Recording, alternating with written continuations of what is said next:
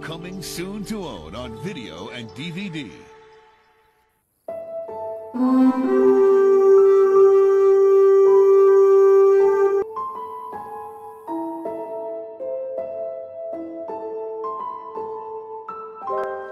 Now that, that potion is for walking in rifts.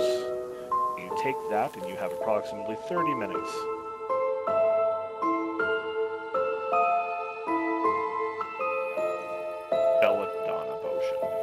That is what I call pure poison or rift killers.